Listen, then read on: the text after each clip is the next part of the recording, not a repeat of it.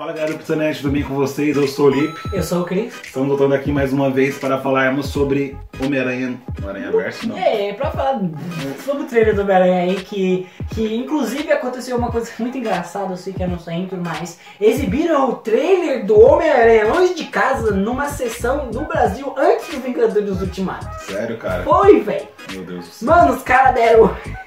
Meu Deus, mano. E pior que no começo do trailer mostra o Toby. O Toby Se não. você, não, Mostra o Tom Holland ele falando. Fala, se você não viu, não assista. E exibiram antes do Vingadores Ultimato. Parabéns, Marvel.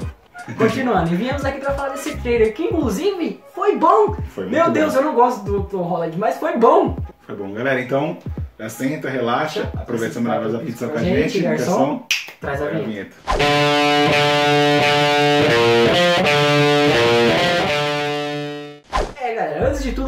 Explicar o conceito de multiverso. Não, não, não, pera, pera. Vamos começar pelo começo do trailer, cara. Exato. A gente percebe que no trailer, se você tá vendo esse vídeo, é claro que você já viu Vingadores Ultimato, então vai ter spoiler, tem cara. até no X-Vídeos.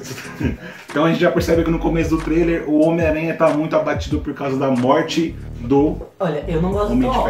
Eu prefiro ir muito, muito o Andrew Garfield, porque eu gosto do Web Swing, não dessas coisas. Ah, eu gosto do Holland, cara. É. Acho que eu evoluí bastante. E o que acontece? É, eu já disse e eu repeti, o, o Tom Holland, ele, sabe, ele transmite uma, uma, um sentimento tão grande que, porra, você viu aquele olhar? Caralho, o moleque tava destruído. mano. Tava destruído na imagem que mostra ele chorando lá pelo. Inclusive que Eu virou vou estar. muito meme, aquela lá eu não consigo esquecer dele, virou muito meme, muito meme. Você fez, sei. E galera, se você já viu um vídeo que a gente fez aqui no começo desse ano, falando sobre o primeiro trailer do Homem-Aranha, mostra que a gente bolou uma teoria de que o Nick Fury estaria preparando o, o Homem-Aranha para liderar os novos Vingadores. E talvez por esse trailer a gente se concretize um pouco mais, até porque tem um momento do trailer que o Homem-Aranha fala, ah, é a Capitã Marvel e o Thor, e eles acabam informando de que eles não estão presentes e teria que ser o Peter Parker fazer essa missão, cara. Primeiramente a Capitã Marvel nunca tá presente. É, não é- ela, ela- mano, ela sumiu durante tantos anos, ela não vai aparecer agora, eu né? gosto dela nos quadrinhos, eu gosto dela nos filmes, então.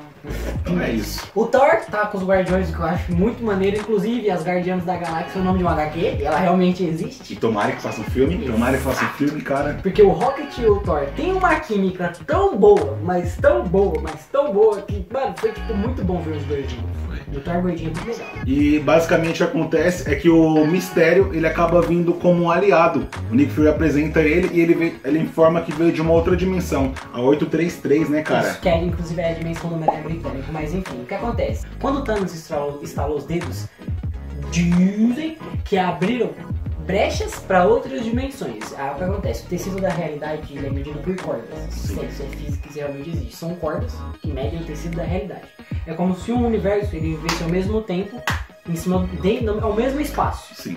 Aquela teoria de que dois corpos não ocupam o mesmo lugar ela é, é- é relativamente errada, porque a vibração do nosso universo é diferente da do outro universo. Então por isso que a gente não vê nada do que acontece.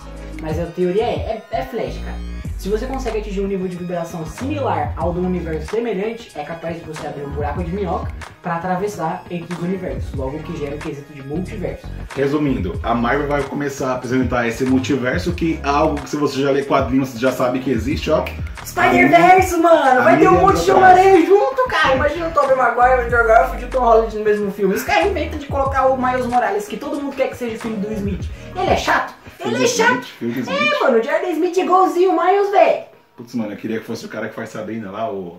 De Sabrina. Ah, é verdade, ele é mais legal. Eu queria que fosse ele. Basicamente, o que dá a entender, galera, é que a Sony, junto com a Marvel, elas estão criando um multiverso, não apenas um desenho como foi no Homem-Aranha Verso, mas também nos filmes, cara, o que é muito bom. Mano, Se vocês pararem pra pensar- gigantes, Mano. cara. Dá pra trazer o Homem de Ferro de volta, dá pra trazer o Viva Negra de volta, dá pra trazer o Thanos de volta, dá pra, Dá pra trazer, trazer o mundo. Spider-Porco, dá pra trazer a Spider-Gwen, dá pra trazer o Spider não sei quem, dá pra trazer todo mundo, Dá pra cara. incluir o Venom. Dá pra incluir o imagina, Morbius, que vai sair o filme do imagina, Jared Leto, mano. Imagina, Morbius. o Venom ele não tem o símbolo das aranhas. Imagina se no Spider-Verse ele vai com todo mundo lutar e ele vê o Peter lutando e ele faz a aranha porque ele gosta e ele começa a soltar teia porque ele gosta e tipo. Não, agora imagina o Peter Parker tá abalado, do nada chega outro Homem-Aranha lá, tira a máscara é o Tobey Maguire, ou então é o Andrew Garfield, mano.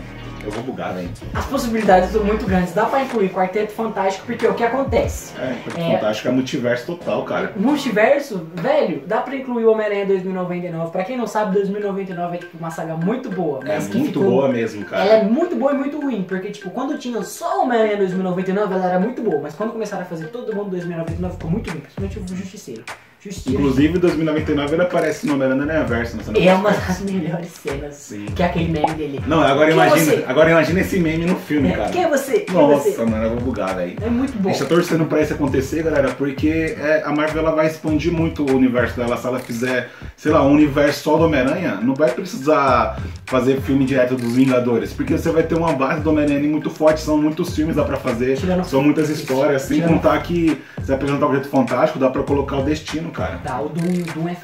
E outra? Galactus. E outra, imagine o Norman Osborn, mano, também. É, inclusive é um dos. O Norman, ó, pra você ter uma ideia, é, o- existem três vilões que a Shield classifica como.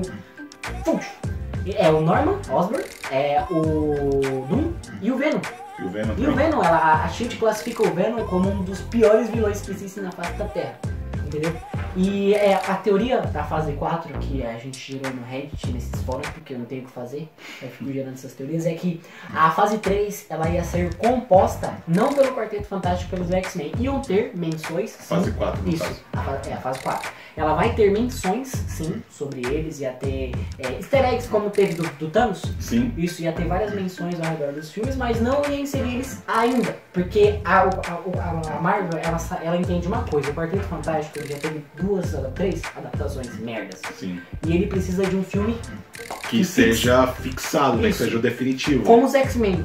Vai assistir os X-Men do Brian Singer, você entende um e dois. E as cenas do Mercúrio. E depois é só viagem no tempo com um Isso. pouco de droga aí, porque os É, caras. droga? Droga droga. cocaína o Brian né? Singer, ele, ele dorme no, num quarto de maconha, né?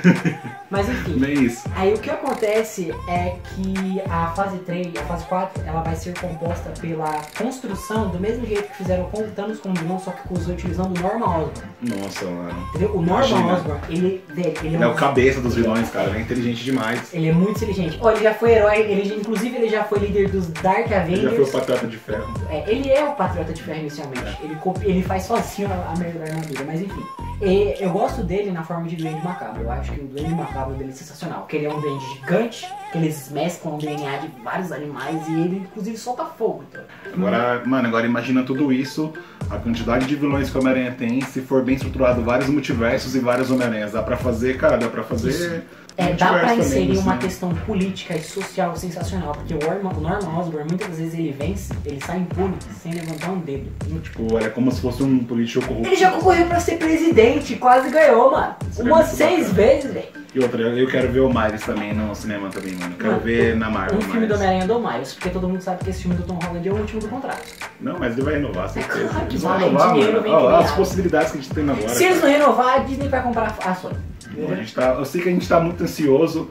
E se você também tá ansioso, cara, já deixa nos comentários aí o que vocês acham que pode acontecer. Quem vocês querem de vilão desses Homens-Aranhas aí também, que a gente, mano, a gente tá pirando, cara. E é. Tá Inclusive, pirando. se você quiser um vídeo mais autoexplicativo sobre o que é multiverso, a gente, gente pode consegue explicar multiverso de tudo. Porque É. literalmente eu tenho uma enciclopédia de todos os multiversos da DC e uma de todos os multiversos da Marvel. A gente pode fazer, a gente pode fazer explicando o que é cada multiverso e quem são os heróis de cada um. Vai dar Exato. Se for trabalho? meu Vai. celular quase descarregando, mas dá pra fazer sim, viu?